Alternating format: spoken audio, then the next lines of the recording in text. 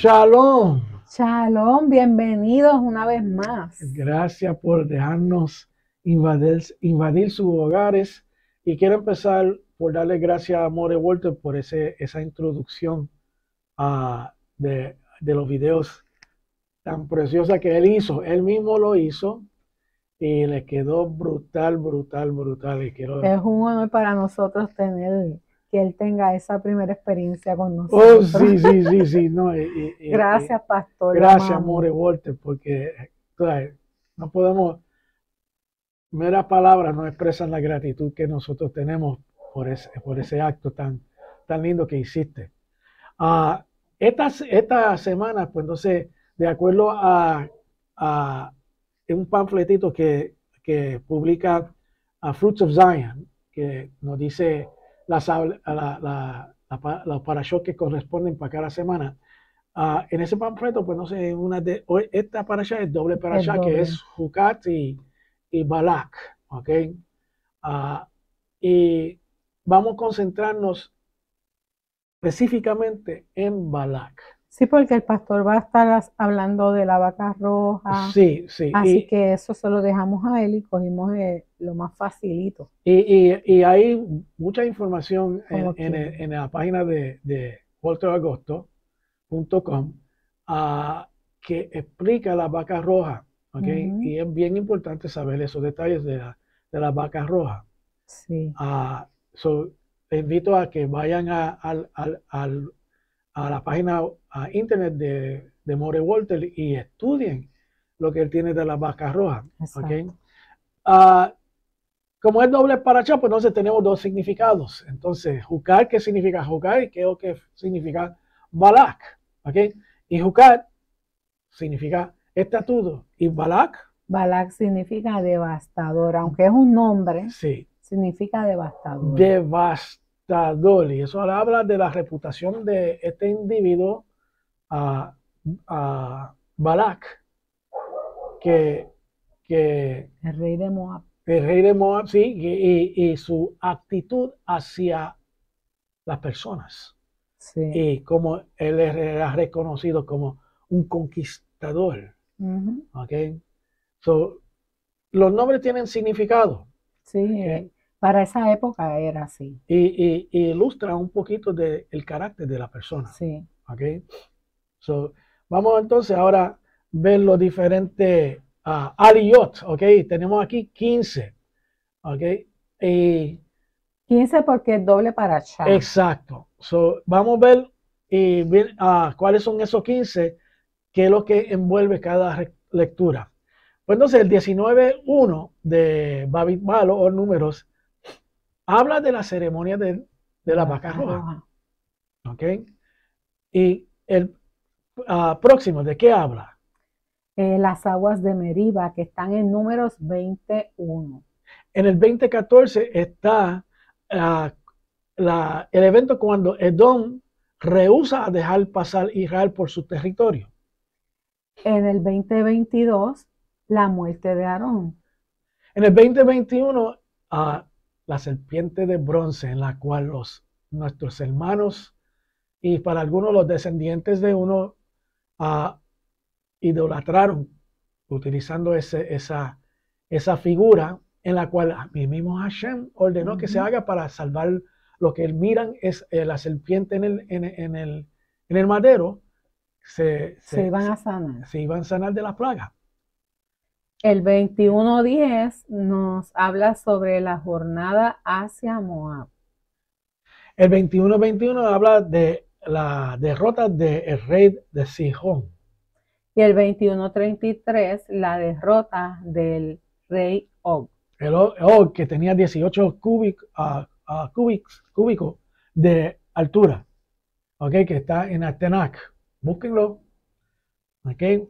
Ah, Balak, en el 21, el 22.1, pues entonces Balak llama a Bilam para maldecir a Israel. El principio de lo que vamos a cubrir. Eh, números 22-22, Balaam, el asno y el ángel. Oh, Eso es bien interesante, me Sí, encanta. Sí, no, es tremenda. Y ahí hay tremenda enseñanza. ¿Ok? Parece de muñequito, pero fue real. Fue real. Sí. 22.41, Balaam ah, intenta su primer maldición. Y en el 23.13, Balaam intenta su segunda maldición. Y en el 24.1, su tercera maldición. Y en el, y en el 24.15, su cuarta. Uh, tuvo problema el tipo. Sí. Okay. Entonces, en el 25.1 empieza a hablar sobre la adoración que se hizo a Baal Peor. ¿Ok? Pues entonces ya tenemos eso a cubierto. Ahora vamos a ver los, los recursos que tenemos y que utilizamos para el estudio. Aquí está el, código QR para los comentarios de Mordecai Edery. Aquí está el código QR para los comentarios en el ah, contexto cultural del Antiguo Testamento. Y aquí está el que me lo pidieron, el, eh, el código QR para Talyak Mitzvot en, en formato PDF. Okay, pueden hacerle post, rewind para buscarlo y escanearlo y entonces bajar los libros. Aquí están los tres libros y en adición utilizamos el Talmud Babil o de Babilonia y de Jerusalén. En los Midrash, los comentarios del Dr. K. Blad y las notas bíblicas del Dr. Thomas Constable. Y aquí empezamos con el resumen de, de, la parasha. De la parasha. ¿Y qué nos dice? Nos dice que Balak, rey de Moab, vio con angustia la victoria de los israelitas sobre los emoritas. Temiendo una invasión a su propio reino, concertó una alianza con sus antiguos enemigos, los midianitas. Luego envió mensajeros a Bilam, de Petor, un famoso hechicero, para solicitarle que maldijera a los israelitas. Bilán pidió a la delegación que se quedara con él toda la noche para darle tiempo de consultar a Dios si podía cumplir con el pedido. Durante la noche fue advertido por el Señor que no fuera con los enviados, de modo que los envió de regreso. Pensando que una invitación más tentadora resultaría efectiva, Balak envió una segunda delegación, más numerosa y de mayor prestigio, que ofreció a Bilán grandes honores y recompensas si cooperaba. El hechicero, obviamente motivado por su codicia personal, le pidió que permanecieran con él hasta que pudiera recibir nuevamente las instrucciones de Hashem. Esta vez recibió autorización para ir, pero a condición de que hablara solamente como el Señor le indicara. Balak encontró a Bilán en la orilla del río Arnón y lo llevó a una ciudad cercana para asistir a una fiesta en su honor. Al día siguiente, llevó a Bilam a una colina sagrada para los adoradores del Baal, desde donde podía ver parte del campamento israelita. Después Bilam y Balak sacrificaron un carnero y un buey en cada uno de los siete altares, y Bilam le dijo a Balak que permaneciera cerca de la ofrenda al diente, mientras él se retiraba para consultar a Dios. A su regreso pronunció su primer discurso. ¿Por qué he de maldecir yo al Dios al que, perdón, porque he de maldecir yo al Dios. Al que Dios. Al que Dios no maldijo, preguntó. He aquí un pueblo que habitará solitario y no será considerado entre las naciones. Disgustado por la inesperada alabanza que hizo Bilán de los israelitas, Balak lo llevó a la cima del monte Pisga esperando resultados diferentes. Pero una vez más, Bilán decepcionó a Balak al declarar que Hashem no quebraría. Su promesa de bendecir a Israel, y que ningún tipo de magia prevalecería sobre ese pueblo. Balak desesperado pidió a Bilán que desistiera de maldecir o bendecir a los israelitas.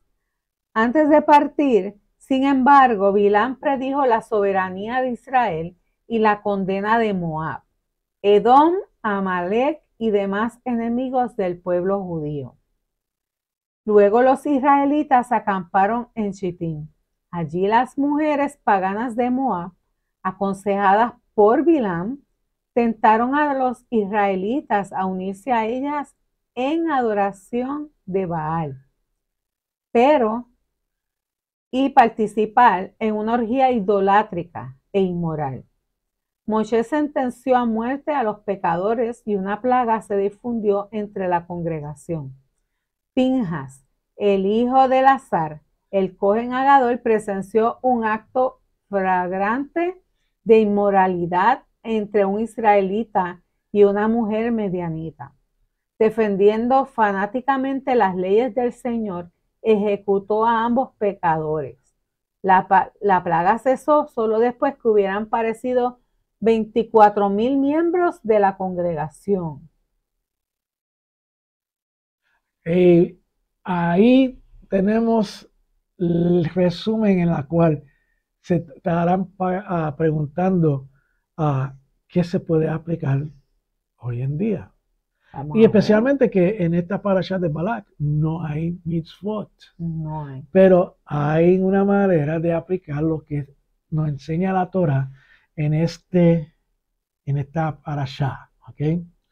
Vamos a ir al principio y a ver lo que nos dice las escrituras y el comentario. ¿okay? ¿Y qué nos dice, amor? En el 22.2 dice, y Balak, hijo de Zippor, vio todo lo que Israel había hecho a los amorreos. Balak era el rey de Moab. Su nombre significa devastador según el Midrash. Ahí está la referencia. Balak fue elegido rey en este momento por causa de la situación de emergencia, por el temor a los hijos de Israel, aunque él no era de linaje real, sino un mero noble, ni era un moabita nativo, sino un medianita. Su fama de ser un poderoso héroe de guerra y mago superior causó que los moabitas le pusieran como su rey. Este rey de Moab no había permitido a los hijos de Israel cruzar su territorio. Por eso los hijos de Israel dieron un rodeo. Tampoco tenían permiso de, Hashem para conquistar el territorio de Moab, porque fue dado a los hijos de Lot, según Deuteronomio 2.9. De esto aprendemos que Hashem reparte las tierras a los pueblos. Deuteronomio 2.19. En estos momentos el pueblo de Moab está molesto. Israel tomó el territorio que ellos habían tenido y que el rey de los amorreos los, los había quitado. Parece ser que el rey de Moab quiere retomar ese terreno y por eso acude a un profeta gentil por medio del cual intenta maldecir al pueblo de Israel, para así poder hacer guerra contra él y expulsarlo de la tierra de los amorreos y retomar ese terreno. Wow. Eso es interesantísimo. Ah, y, vemos ahí en, este, en esta explicación que Balak no era nacional del territorio en la cual era rey. Exacto. Ok, entonces eso, no, eso nos dice que entonces lo asignaron rey por su fama, para proteger Exacto. el territorio. es lo primero que tenemos que entender. ¿Ok? Ah, y pueden ir al Talmud que tiene todas esas explicaciones atrás del trasfondo de Balak, en la cual tenemos que saber.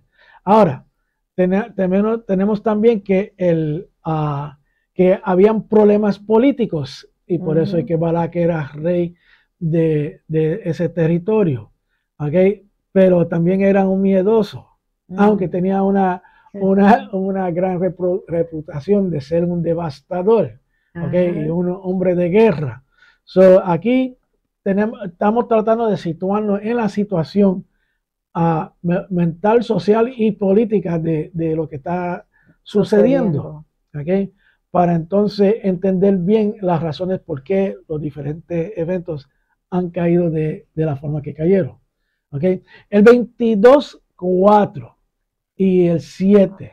Dice, y Moab dijo a los ancianos de Midian, esta multitud lamerá todo lo que hay a nuestro derredor, como el buey lame la hierba del campo. Eso suena feo. Sí.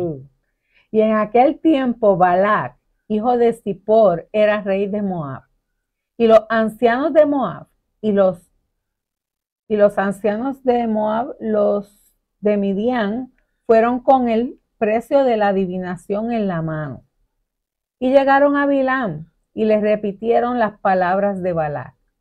Los dirigentes de las dos naciones, Moab y Midian, se unieron contra Israel y fueron a hablar con Bilam, que era conocido como un profeta o un mago con éxito. Cuando él hablaba, se cumplía. Según Rashi, el rey de los amorreos, anteriormente había alquilado a Bilam para maldecir a los moabitas para que los pudiera expulsar de ese territorio que luego llegó a ser de los hijos de Israel. Desde el río Arnón hacia arriba, incluyendo la ciudad de Heshbon.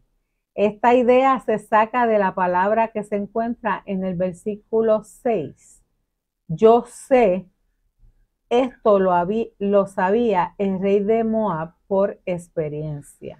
Aquí, vemos también la, mención de Sifor, ¿ok? Y yo me recuerdo, ah, me entró en la mente ahora mismo, cuando nosotros estudiamos esta para allá en, la sinagoga, ¿ok? Que uh, la morá Magda, que cariñosamente la llamamos Nana, nos explicó que a Baal, a lo de Baal Sifor. Y Balak, ¿cuál era la magia de él?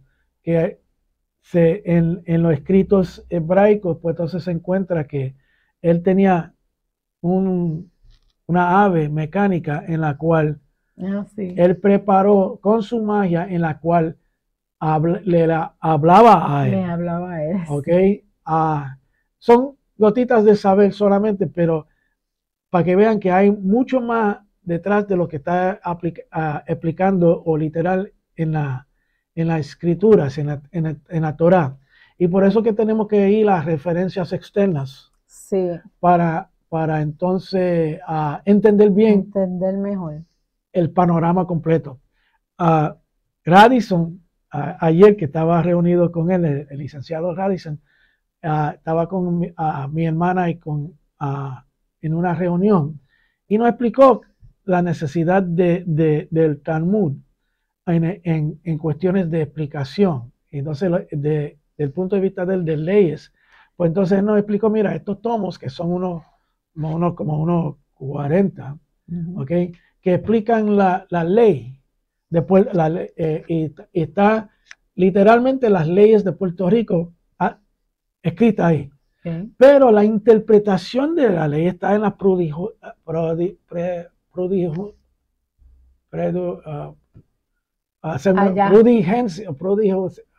Allá está la eh, palabra. Está en, otro, en otros tomos, perdona, en otros tomos. Y es más explicativo porque entonces da las determinaciones de casos que han surgido uh, de esa ley y la interpretación y las declaraciones y resoluciones de, de los jueces. Okay. ok. Y como ellos lo vieron. Pues entonces nosotros podemos ver la Torah como esa, las leyes escritas, pero la explicación y la, cómo lo interpreta el pueblo hebreo, especialmente Sanhedrin, lo vemos en el, en el, en el, Talmud, o en la Mishnah también. Ok, so es necesario hacer, a, ir a esos libros para entenderlo bien, ¿ok? Especialmente cuando uno está estudiando el templo. Y cuando uno está estudiando el templo, la Mishnah es sumamente importante para, para, para, tenerlo como una referencia para los detalles de cómo se hacían las cosas. Así mismo. ¿okay? Ejemplo, la, la, la, Mishnah te explica cómo es que el, el, el, el sacerdote cogía la harina y posicionaba la, mano de una forma para agarrar la misma cantidad que estipula la ley con la mano. ¿Ok? esos detallitos hay que saberlo. También está, este, yo estaba estudiando y en una, en uno de los de los comentarios decía que Bilam se le conocía también como el padre de los hechiceros, o sea que era un, Sí, un tipo fuerte en eso. sí, eh, a lo que él decía, él- él- lo- a quien él bendecía, lo, salía bendecido, y a que él maldecía, fue, eh, Sí, salía se, maldito. cum- se cumplía, se Sí, sí. Seguimos entonces. Por medio del profeta, Hashem nos dice que debemos recordar lo que pasó con Balak y Bilam. Ujú. ¿ok? Por lo tanto, este suceso es una de las, de, de las cosas más importantes en la historia del pueblo judío, como está escrito en ah, Mequías, Miqueas. Mi- Miqueas 6:5, que dice, pueblo mío, acuérdate ahora de lo que maquinó Balak, rey de Moab, y de lo que le respondió Bilam, hijo de Beor. Algunas veces se refiere como Peor también. ¿Ok? Desde Shittim hasta Gilgal. Gilgal. Gilgal, para que conozcas las justicias de Hashem. So, ¿qué nos está diciendo ese verso de Miqueas? La Ujú. justicia de Hashem está ilustrada dentro de este evento. ¿Ok? So, si quieres conocer un poquito sobre la justicia de Hashem, hay que estudiar esta para allá. ¿Ok? ¿Qué nos dice el 22.5? Y envió mensajeros a Bilam, hijo de Beor o Empetor, que está cerca del río, en la tierra de los hijos de su pueblo, para llamarlo, diciendo, mira, un pueblo salió de Egipto y he aquí cubren la faz de la tierra y habitan frente a mí. La palabra hebrea que ha sido traducida como mensajeros es malachem, que significa ángeles emisarios, enviados, mensajeros.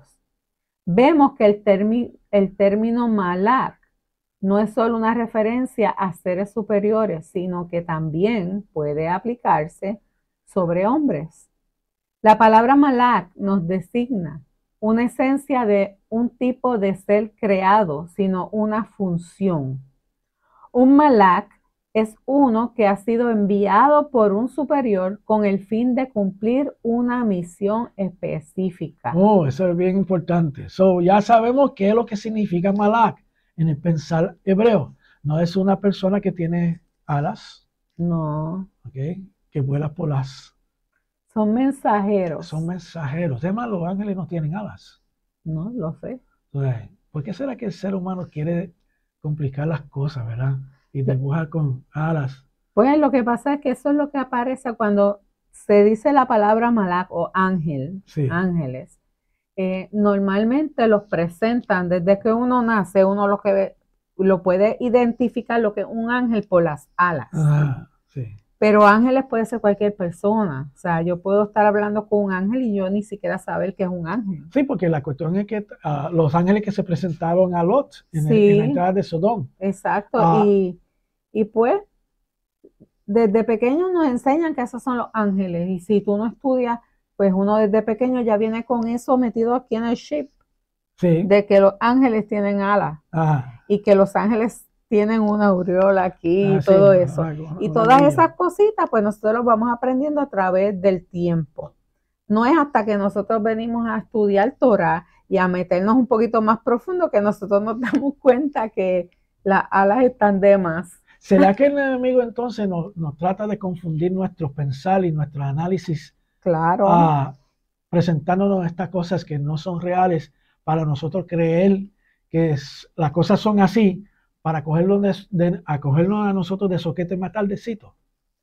claro. Tú le, tú le, tú le dices a un niño, cualquier niño, que te dibuje un ángel y te va, te va a poner la alita. Interesante eso. Entonces, si esas figuras de ángeles con, á- con, con- con, Con alas. alas no es de Hashem, no viene de Hashem, Yo creo que no. entonces ¿de quién viene? Mm. Lo que no es de Dios, viene de donde, de por ¿De allá. es? De Dios no es. ¿Quién será? Bueno, Eso es algo para pensar. y llegan a su conclusión. ¿ok? Ah, Pero los, los, los ángeles de Elohim o mensajeros de Elohim ah, son asignados a una misión específica, como los ángeles que se presentaron ante Lot. Tenían una, una misión de destruir a Sodoma y Gomorra, pero sacar el único justo que estaba en esas ciudades, Exacto. que fue Lot. Y lo sacó. Ujú. Okay, so, aquí aprendemos, estamos aprendiendo algunas cosas y estamos viendo banderas de alerta Exacto. que nos está dando la Torah. Okay, O sea, no se puede dar, es uno que dar así de lejito y decir, wow, a- a- aquí, aquí vamos, no hay nada para aprender. No, hay mucho. En la Okay, Torah hay mucho, sí, aunque tanto que no nos va a dar una vida para aprender. así mismito es. ¿Qué nos dice la 22.6, amor? Ven ahora, te ruego, y maldíceme a este pueblo porque es demasiado poderoso para mí. Tenía miedo, parece, ¿verdad? Frío olímpico. Sí, quizás pueda derrotarlos y echarlos en- de la tierra, porque yo sé que a quien tú bendices es bendecido y a quien tú maldices es maldecido. Balak quiso derrotar y echar a Israel de la tierra, pero como había mostrado su poder militar contra los pueblos de los dos gigantes, ahora acude a la brujería. La estrategia del enemigo es triple. La primera es usar la fuerza militar y la fuerza física para obligarnos a someternos. Usar la magia, la fuerza espiritual y psicológica para dominarnos, que esa sería la segunda. Sí. Y la tercera, usar nuestras pasiones y atraernos al pecado con comidas y sexo y destruirnos desde dentro, de- desde dentro con las costumbres e ideas de de las religiones gentiles. En este caso no hubo éxito con los dos primeros, pero en tercer punto cayó Israel. Eso es, eh, y aquí es donde tenemos que aplicar lo que la, la, la Torah nos está enseñando, porque fíjate, fallaron en el tercer punto. Lo que pasa es que ¿a quién no le da hambre? ¿Sí? Ah, no, ¿y ¿a quién no le gusta la- a comer? Por eso, ya por eso ya tienen ahí, el, ya los tenían ya por, por Y- un y- lado. Si y aquí- tenían hambre, querían comer comida y si después que estaban allí veían, eh, no sé si iban mujeres también, pero hombres a ver nenas lindas quizás y entonces pues Sí. Pero hay, hay, hay algo interesante también, que el sexo también está mencionado ahí. por eso, y, ya el por sex- eso digo. y- y se puede hacer uno adicto a las dos cosas también. Sí. Y si uno tiene una debilidad de comida o de, o de sexo, pues entonces ah, utilizando esa- esas dos cosas puede uno ah, controlar personas. Exacto. ¿ok? Y eso es lo que, eso es lo que vamos a estar viendo, que básicamente a Bilam le aconsejó a Balak. ujú, ¿ok? Pero también quiero traer algo, no sé si lo va a traer, ah, que, si lo vamos a cubrir, pero una de las cosas que quiero cubrir aquí es que ah, una de las razones ah, en la cual pecó a la tribu de Shimón, que, tenía, que cayó en el, en el tercer punto, es es que ellos fueron a ver cómo es que se adoraba el dios peor o Seol. ¿Ok? Y ah, en, la- en el Talmud habla de que parte de la adora- adoración, además de ser rituales sexuales, era que defecaban, defecaban exacto. enfrente de la estatua de, de Baal Peor. ¿Ok? Y quizá los israelitas no, no participaron en eso, ¿ok? Pero fueron con curio- curiosidad a mirar. Y eso, ay, Por los ojos entra mucho pecado. exacto. Y aunque esa parte de la adoración quizá no, no les repugnaba, pero la parte del sexo quizá es porque fueron a mirar. ¿Ok?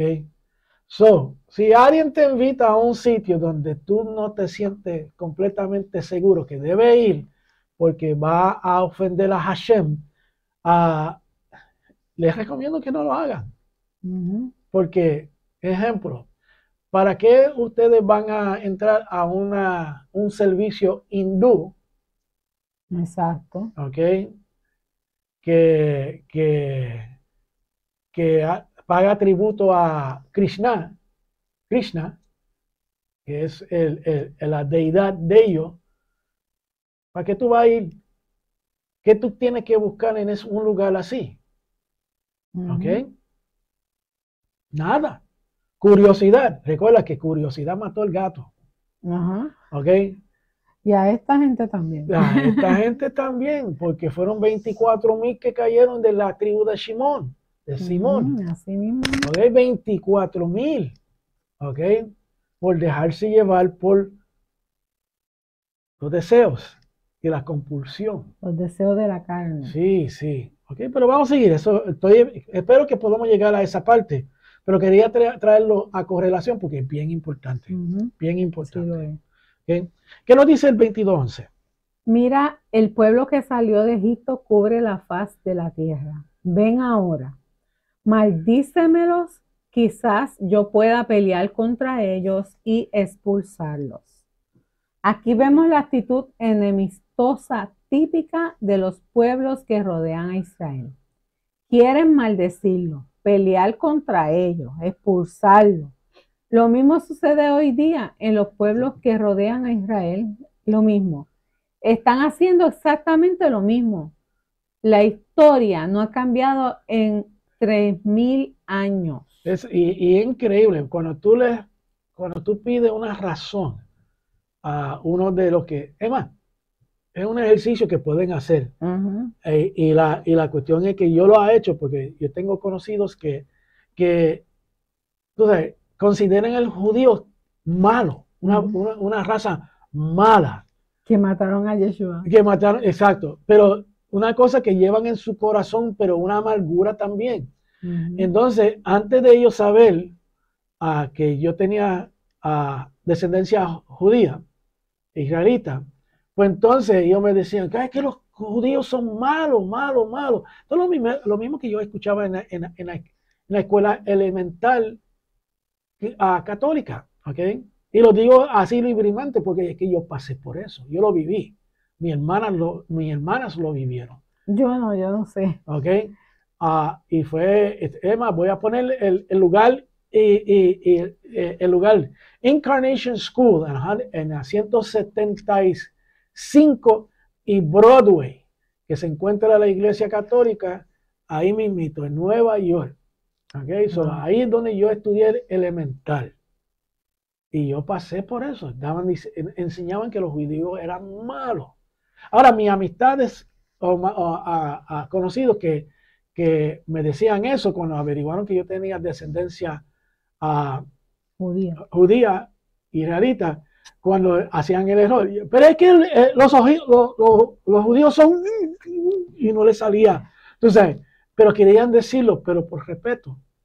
Ujú, Se callaban. Y por tú sabes por qué respeto, porque el testimonio habla por sí mismo.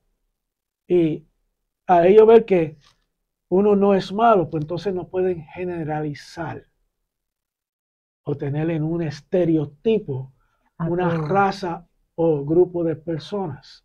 ¿Ok? So, ¿qué se aprende aquí? Que el testimonio Vale mucho. vale un montón. ¿Ok? Y no tiene que hablar ni una palabra porque el testimonio habla por sí solo. Ahora, si uno no tiene un buen testimonio, eso no dice que uno debe dejar que las personas te falte respeto, porque en una ocasión yo terminé votando, sacándolo de mi casa por faltarme respeto, pero lo hice con no faltándole el respeto, con todo el honor y dignidad que, la persona merece, pero lo boté de la casa. Luego el- la persona recapacitó, pidió perdón y jamás ha, ha traído el problema ni ha habido conflicto. Pero es importante nosotros también ah, trazar una línea, ¿ok? Y determinar con las personas, después que tú pasas esta línea, me está faltando el respeto. Después que tú te quedas detrás de esta línea, todo está bien. Exactamente. So, testimonio y conversación, comunicación, son absolutamente importantes. ¿Ok? Porque cuando la escritura habla de que no, si te dan una, un, un, cantazo en el cachete, mira para que te lo den en el otro, no significa eso que uno debe ser maltratado. Exacto. ¿Ok? Estudien bien ese, ese, ese, ese versículo.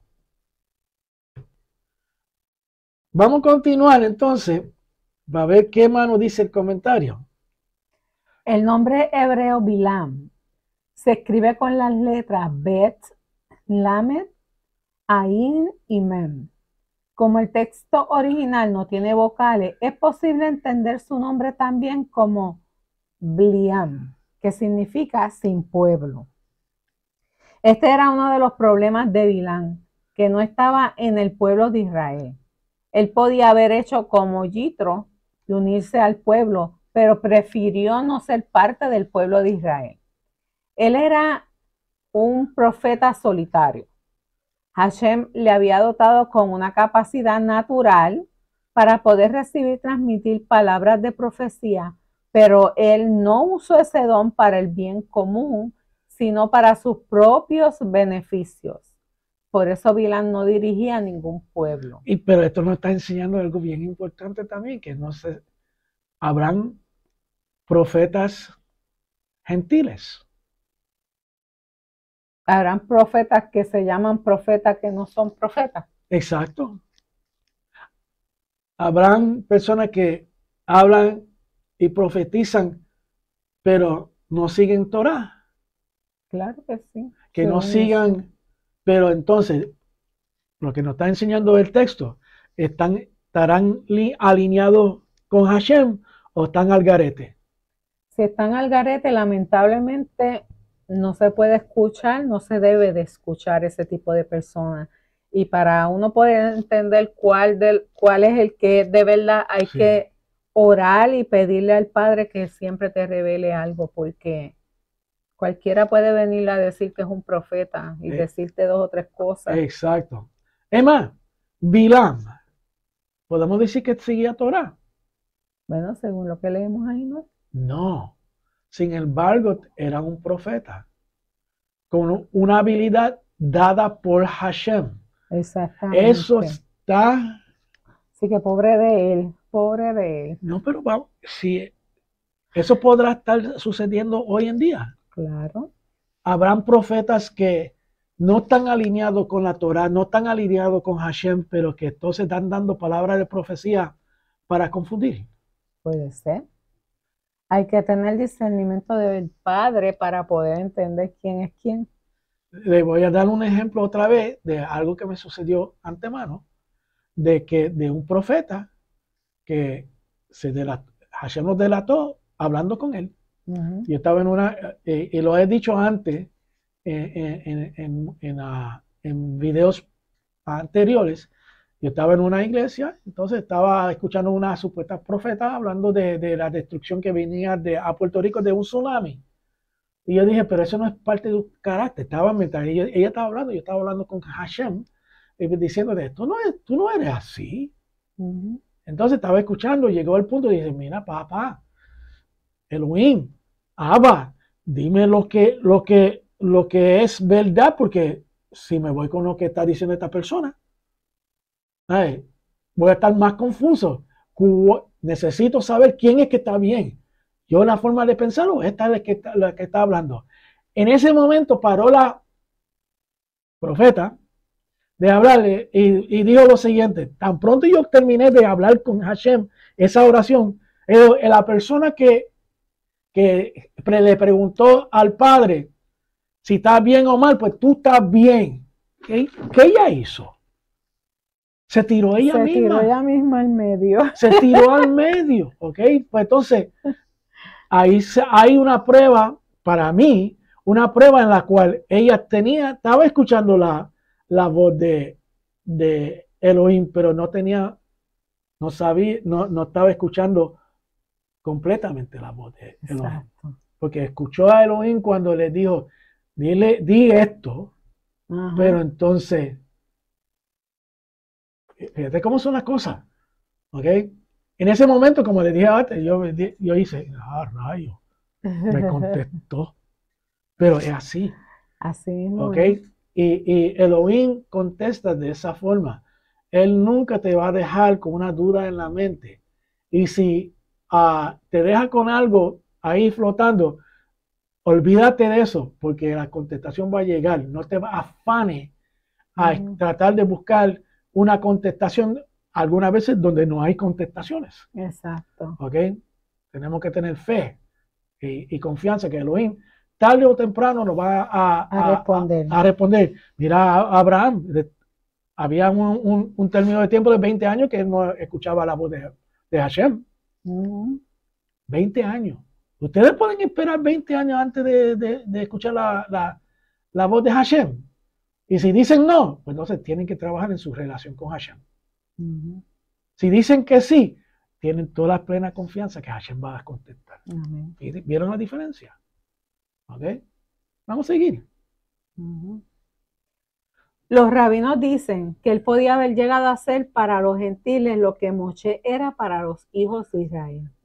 Podía haber sido uno de los personajes más influyentes en el mundo gentil por el don de profecía que tenía, pero un hombre caído que iba detrás de ganancias monetarias y honra de los hombres importantes de este mundo. Y eso le llevó a la ruina. Tú sabes lo que eso me hace pensar. Cuando un pastor se afana con el dinero, debes de afanarse con dar palabra de Elohim. de buscar a- al Señor. Sí. ¿Ok? Y, y perdona que lo tire así, pero es, es- es una situación que conozco Sí. y que he visto. So, tengo que hablar de lo que yo conozco y de lo que he visto. Y he visto, tú sabes, es más, vamos a ponerlo así. Cuando un, un- un líder de una congregación ah, desea ah, entrar en las raíces hebreas, estudios basados en las raíces hebreas de las escrituras, ¿ok? ¿Qué tú te crees que es lo primero que piensa? En la economía. En la economía, sí, porque la- se le va a vaciar las iglesias.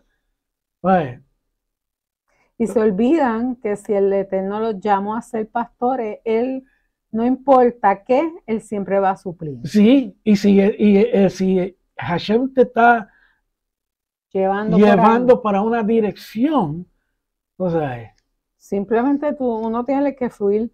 Lo que pasa es que también está nuestra mente que nos domina muchas veces. sí, sí, Y y la las circunstancias. la, la mente y lo que tenemos a nuestro alrededor, pues a veces so- es lo que nos, nos sostiene a nosotros.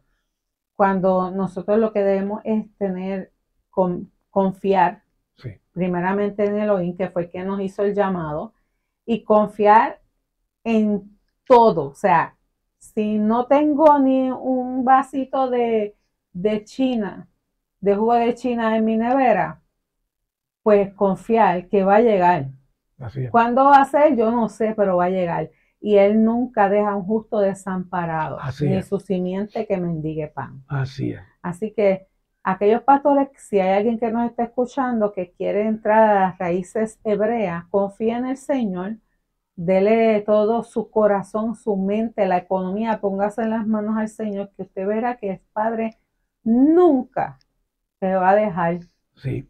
Y, y, y puede ser que la- hasta la misma familia de uno se vire en contra Sí. de uno.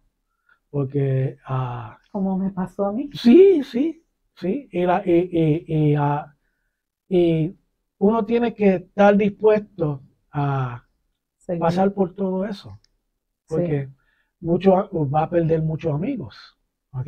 Yo- Amigos, familia, mira, que duele, Duele, sí. porque duele. Porque duele Pero- en el corazón, sí. Pero hay que agradar al Señor por encima de, de todo y de todos. Pero nosotros podemos hablar que después de todas esas ah, circunstancias negativas que han sucedido, que somos bendecidos. Claro, porque Somos- sí. La mayoría de, ellos pues no, no, no están de acuerdo conmigo, pero mami está aquí conmigo y mami guarda Shabbat con nosotros. Exacto. Y la fiesta. Y la que menos me imaginaba y los amigos de, los amigos de verdad no, se, no van a abandonar a uno. Claro que no. Es más, van a acoplarse dentro de las circunstancias. ¿Cuántas personas que no son creyentes entran por la puerta de nosotros y lo que primero que dicen es shalom? Tenemos brujos que entran por la puerta y dicen shalom. Exacto, Y son buenos amigos. Sí. Porque simplemente porque tienen otra creencia no significa que tenemos que darle el codo. No, al contrario al contrario, tenemos que mantener la amistad y ser testimonio. Para ellos. Para ellos. Porque ah, es bien fácil predicar a un a, un salón lleno de hermanos. Exacto. Pero trátalo en un salón lleno de personas que no creen. Que hayan brujos de diferentes religiones. Sí, de diferentes religiones, santeros, espiritistas homosexuales, prostitutas. Así mismo. Sigamos pues. Think, think, ok.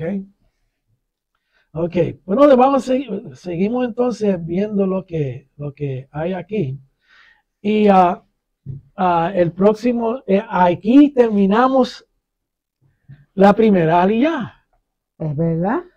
Terminamos la primera aliyah y lo vamos en esta ocasión lo vamos a dejar así, ¿ok? okay. Ah, llegamos a 50 minutos, pero queremos dejarlo ahí para que empiecen a, digerir lo que hemos dicho, porque fíjate, en la primera línea oh, parecía que no había nada que se podía aplicar hoy en día, pero sí. Recuerden siempre buscarle el, cuando lean algo, buscarle el contexto eh, histórico, eh, la arqueología, lo que estaba sucediendo, las noticias que estaban para ese tiempo, porque eso nos ayuda mucho a entender. Sí. Y a saber qué era lo que estaba pasando realmente, por qué unos decían una cosa y otros decían otro. Simplemente hay que ver la historia y ver en qué contexto ellos estaban para nosotros poder entender muchísimo mejor lo que es la Torah. Sí y también este, tratar de adentrarnos y conocer cada uno de los personajes que en la Torah está, porque cada uno de ellos nos dice algo. Sí, y nos enseña algo. Y nos enseña algo. Sea negativo o positivo. Así mismo. En la cual podemos entonces autoanalizarnos a nosotros. Así mismo es. Y una de las cosas que, que, la escritura, si, ah, para terminar esta sección, esta para allá, es la, lo que sucedió ah, en la, que a, través de consejos de Bilam, el sexo, el poder que tiene el sexo sobre y la comida. y la comida, ¿ok? especialmente el sexo, porque cuando ellos fueron a, cuando las mujeres entraron al campamento de Israel, pues entonces el problema era el sexo, ¿ok? No dice que el sexo es malo, pero la cuestión es que cuando tú usas el sexo para entonces adorar a otro, otra deidad, ahí es donde está el problema. ¿Okay? Como es, cuando es parte de una adoración, ahí es donde es el, problema. Y pues, tú no, uno no va, nosotros no vamos a adorar a Adonai con sexo. Claro que no. No, no. Okay. Lo hacemos cantando, hablando con él. ¿Cómo él va a ver si nosotros hacemos eso con otras deidades que son eh, ¿Ok? Mira. Sí, no, exacto. Nos corta. nos corta la cabeza. Y, fíjate, 24 mil de la tribu de Shimon, ¿ok? Murieron. ¿Cómo sabemos esto? Porque cuando se hace el censo otra vez, se ve que hay un decremento de 24 mil personas. ¿Ok? Entonces, una de las lecciones que quiero tocar ahí antes de, de nosotros irnos es que Moshe, ¿dónde estaba Moshe en todo esto? ¿Será posible que le dio el frío olímpico? ¿O se pasmó y no pudo hacer nada? Y ahí donde Pinjas vino y dijo, espera un momentito, yo no puedo dejar que esto pase. Y él asesinó, él asesinó, ¿ok? por ira, porque estaba enfurecido por lo que estaba viendo, asesinó a, al príncipe de Shimón y la sacerdota de, de sacerdotisa. sacerdotisa de Valpeor. ¿Ok? Y ahí podemos entender entonces por qué la, posiblemente, ah, por qué la, el pacto de paz que Hashem hizo con, con Pinjas. ¿Ok? Pero eso va para la próxima. Pero eso es para la próxima, el próximo siglo, para el año que viene, esta misma hora, este mismo canal. ¿Ok? Pues entonces lo dejamos así.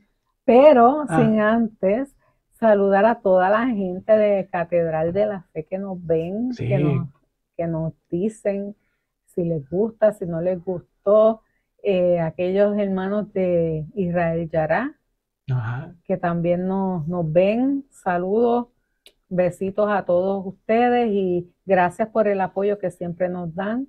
Y gracias a nuestro pastor una vez más por este lindo video que nos hizo. Amén, amén. Pues entonces lo único que falta decirles Shalom. Shalom.